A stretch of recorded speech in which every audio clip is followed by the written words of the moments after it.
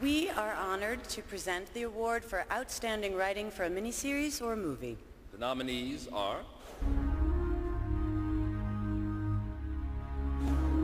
Michelle Ashford, Robert Schenkkan, The Pacific, Part 8.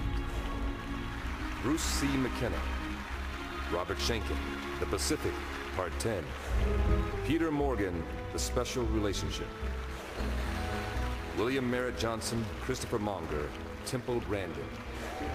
Adam Mazer, You Don't Know Jack. And the Emmy goes to Adam Mazer, You Don't Know Jack.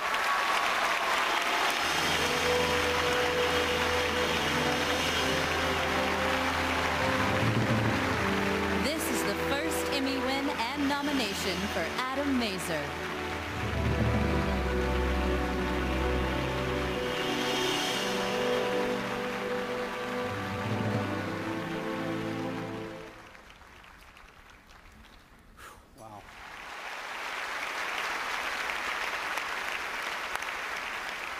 And now the award for Outstanding Lead Actress in a Miniseries or a Movie. The nominees are Joan Allen, Georgia O'Keeffe, Claire Danes, Temple Grandin, Hope Davis, The Special Relationship, Judi Dench, Return to Cranford, Maggie Smith, Capturing Mary. And the Emmy goes to Claire Danes, Temple Grandin.